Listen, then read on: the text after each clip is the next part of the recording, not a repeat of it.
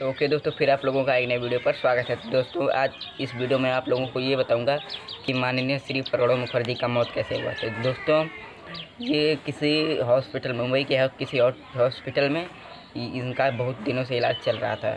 काफ़ी दिनों से इलाज चल रहा था इनके फेफड़े का। फेफड़े में कुछ प्रॉब्लम थी तो बहुत दिन से इलाज चल रहा था। दोस्तों, कितने दिन चलेगा? कुछ ना कुछ तो या तो नहीं हो गया या तो कुछ ख़राब होगा।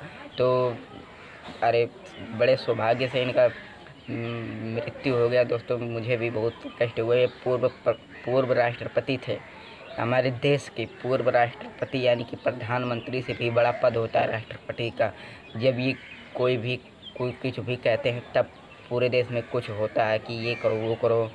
तो दोस्तों, इनका मौत ऐसे ही हुआ था, किसी हॉस्पिटल में बंद थे, यानी कि किसी हॉस्पिटल में भर्ती थे और कई दिनों से इलाज चल रहा था इनके फेफड़े का तो दोस्तों उनके श्रद्धांजलि के लिए मैं भी भगवान से प्रार्थना करता हूँ कि इनको श्रद्धांजलि मिले।